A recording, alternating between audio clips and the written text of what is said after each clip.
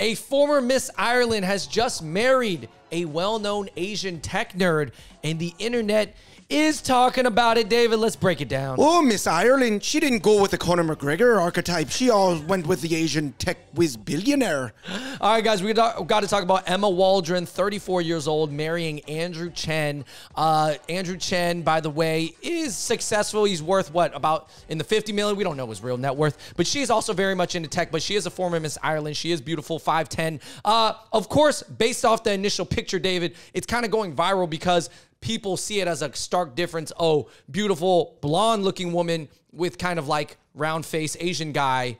Wow, this is a crazy picture, right? Yeah, I think it's crazy. Obviously, let's be honest, you don't see this a lot happen organically in IRL or even online. To be honest, a lot of people thought he was like maybe the uh, the best friend or just like a homie or like nobody even understood that maybe there was a photo from like a movie right, or something right, right. like that. And uh, basically, a lot of Asian guys were giving this guy's props. Some of them were saying it's an L because she's using him. Other non-Asian guys were coming through hating or speculating. You know, some people had a certain tone to their comments, some people did not. So this just sparked Andrew a lot of internet comments, despite not really really making any sort of like news platforms uh, front page. But let me tell you this, guys. If you knew about the historical context of the Irish woman and Chinese man couple, maybe it wouldn't be so shocking. But please hit that like button. Check out other episodes of the Hot Pot Boys as we delve into this.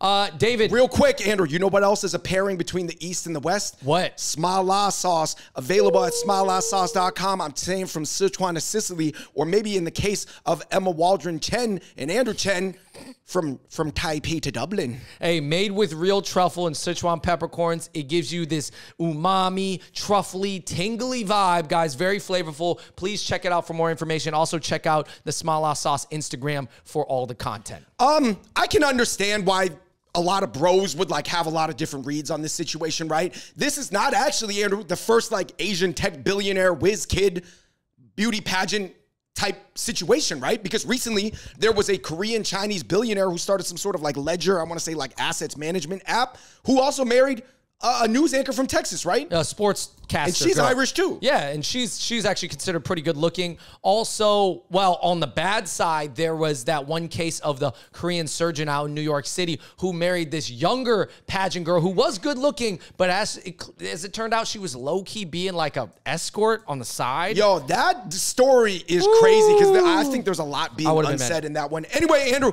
let's go back in history. Why do you are we unsurprised? That if there is a successful Chinese guy or Asian guy, whatever, he's with an Irish woman. Yo, uh, I first of all, our family friend growing up, one of our good ones is uh, was the dad was Chinese and the mother was Irish Catholic. Yeah, mom was the dad was from Hubei. Yeah, was he was from China, but, but they, met, like they met in Missouri, right? Yeah, they met in school, but I. So to me, I'm already introduced to this couple. Looking into history, in 1857, apparently one in four Chinese males in New York one in four Chinese males in New York were married to Irish women. And then also, guys, there's this other quote from the 1800s uh, describing the couple uh, between Irish women marrying Chinese men, which was apparently very common. They came from opposite sides of the world, but had shared experiences fleeing oppression, facing discrimination, and longing for a better life and falling in love. The Irish woman and the Chinese man. Yeah, see, one's got the four leaf clover, the other one's got the green jay. Yeah, it so uh, sense, I also think Irish people, they're pretty humble, they're pretty open minded, they're not like too bougie, they don't take themselves maybe too seriously, and obviously, like, you know, maybe the UK, or I meant, sorry, Britain of the UK is so used to being like the posh, like uppity ones having the king and stuff. The Anglos, yeah. the Anglo Saxons uh, oppressing but, the Celtics, yeah, right? Like, but the Celtics are more like, oh, we're just humble, you know. We just we just like tech and we just like to drink beer and enjoy life, you know. Right. If you find a good I, man, long story short, if you guys know, in the late 1800s, uh, Irish people and Italians were not fully considered white because they were Catholic. They had different practices. Irish people spoke Gaelic. Italians obviously spoke a variety of different dialects of Italian. So they were considered not white until more, even less white looking people came to America. Oddly enough, even though Irish people generally are more pale skinned than Italians, more Chinese men married Irish women than Italian women. Yeah. Interesting. Um, some other quick thoughts, Andrew. Not every like beautiful woman or a woman who could have won a beauty pageant wants to date Leonardo DiCaprio or like a crypto guy or some sort of D boy or C boy or whatever, right? Yeah. Like, be, there's different types of beautiful women, right? There's IG influencer types. Uh, they tend to be shorter, but they're good at vlogging. There's uh, high fashion models. They tend to be taller. They might be kicking it with Leo. And then there's ones that are pageant queens. I tend to think that pageant queens tend to end up more with like titans of business and industry because they themselves really more so value commerce. Yeah, yeah, yeah. And I would say like being in that pageant circuit is a lot different than being in nightlife and being like a bottle girl. So let's be honest. So I think that she is into tech. She's a, she has a tech company herself. So I'm saying She like had several. clearly she's in that world. So she likes guys from that world, and this is the guy she settled down with. Right. Um, anyway, guys, again, hit that like button, get the likes up. We're getting to the comments section right now. This is from one of the Asian boards saying, Hey, what's your guys' excuse, bros? And then somebody said, Dude, not everybody's gonna be worth like $50 million, dominate in tech VC, and then find a girl who like loves guys who are dominant in tech. I mean, let's be honest, guys. Timing is also part of dating and marriage, and I think that you know, uh, if you look at she is born in 1989, that makes her 34 years old. So she's probably looking to settle down. Maybe she has had some fun. He's maybe had some fun in his own way, and then they want to decide to settle down with each other. I think it's great. I hope they have kids. And who knows? To be honest, this is like a little bit of an aside, but if if guys that are not like, let's say they're a lower form of Andrew Chen in the sense that they're not able to impose their will in the business tech world like he is, I guess you could go to Ireland or you could go to Eastern Europe or you could go to, you know what I mean? Like- Right. Yeah, you could go somewhere else and find your own Emma Waldron. Pass, be a passport bro. Yeah, you Possibly. could. You could. Um, somebody said that uh, she is very open-minded and very pro-minority because she actually started a uh, tech company that was tracking minority representation. She used to date like a really smart Nigerian guy who wasn't particularly good-looking either. So she's into like brilliant minorities. That's good. Good. I know, but people are saying that this is like Obama's mom. Because oh, if you guys know about the story of uh, Obama's mother, like she dated um, her father, who was a Kenyan PhD, and then uh, married a guy in Indonesia. I hope more beautiful women of every race are attracted to big brain dudes. I would appreciate that. Yes, yes, yes. More looking at what's underneath the skull than on the uh, exterior of the cranium, inside of the cranium, right? Yeah, Somebody's saying, uh, "How does the love life of some millionaire help or affect my chances? Why should I even care about this information?" SMH. Basically, this guy was on one of the, I guess, Asian male boards, questioning why everybody's caring about this news so much. Uh, yeah. I mean, personally, I don't think it's a big deal. I think that what we're looking at is Andrew Chen, a high value man. He gets with a beautiful woman. That makes complete sense to me in a But nutshell. but isn't he particularly high value in that fishbowl Yes. of tech? A lot of people use tech, but you not no in tech. In a way, it's easier for him to date a woman like her who's she's actually interested in tech herself versus him dating some hot, shallow, like bottled girl in Vegas. You know what I mean? Right, right, right. Well, they're in the Bay Area, Silicon Valley bubble where like Silicon Valley metrics matter more, right? Yeah, yeah. And I, I heard she used to date Eric Schmidt too. Who knows if there's anything to that rumor? Somebody said uh, too many incels are in this message board thinking that white women are impossible to date and putting them on a weird pedestal. We all have the same behaviors as other humans. It's on you, you to overcome the bias to date the women that you want. Yeah. Also, I, I do think, to be honest, uh, and this is not, this video is not about how to date white women, but I guess there's different types of white women in the world right now. Just like there's different types of everybody. There's white immigrants, there's women from Ireland, Eastern Europe, there's, you know, the Moldovan White- white Latinas, whatever. Yeah, the Balkans, the the Slavics, like the the whatever, like just, they, but but they all are actually different, and they all have a different coaching pattern in Yeah. their brain from what their parents taught them, and, or how society taught Mm-hmm. them to feel, or the media they consumed, and how they triangulated with their own self agency. I would say this: it's not necessarily on you to overcome bias. I would say Andrew Chen reached a certain level of success where he could really scope out the whole field from a bird's eye and find women that he was looking for that were open to him too. Right. Do you know what I'm saying? It's not. I don't really think you should necessarily approach women who go, no, no, no, I hate Asian guys, and try to convert them.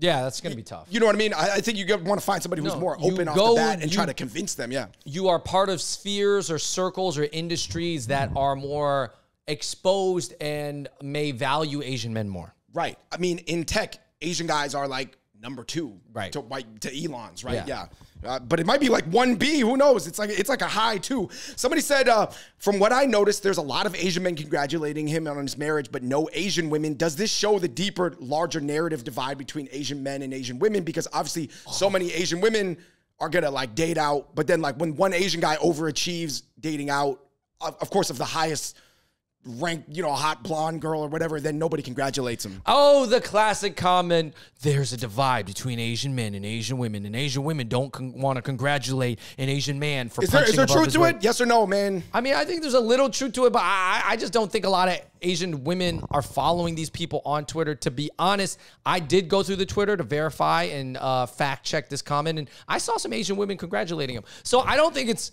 it's that I don't I just don't think a lot of people are involved in these types of people's uh, personal lives. I saw a lot of nerdy guys congratulating her, and maybe it was through grinning their teeth, like, "Oh, congrats, ah, Emma, we're so happy for you and Andrew." If anything, it should give them more hope, though, right? yeah, Yeah, I guess because because it's like happening for like like the line is moving. I always say this, man. A lot of guys, like Asian guys, they don't understand. Like you're in the line of a club. And you know, you may be jealous of the guys that are in front of you in the line or however they got there. Maybe that was their own will. They're just super good looking and tall or whatever. But like once the line starts moving, you move up in line too. Mm. Because at one point, the line probably wasn't moving for anybody. Mm-hmm. Um, and uh, certainly, like I said, this situation, every- everybody was pointing out the downsides. Oh, she's just trading it for money. He's just couldn't believe his luck to find like an open-minded Obama's mom white girl. Some people were pointing out the Chad Korean NYC surgeon who ended up marrying the girl who's cheating on him. Some people pointed out Bobby Lee with his hot mixed Filipino wife, and then everybody found out that she was able to cheat on him. And then everybody was pointing out Tony Hsieh. Tony Hsieh was a billionaire Taiwanese guy in Silicon Valley. Andrew was very unhappy with his dating life and you know, that led him down a dark path. So people were obviously had a healthy dose of skepticism. What do you think about everybody pointing out the negatives? For me, I would like to see everybody say this 10 years down the road when they have like a happy marriage and they're still together with like multiple kids, you know?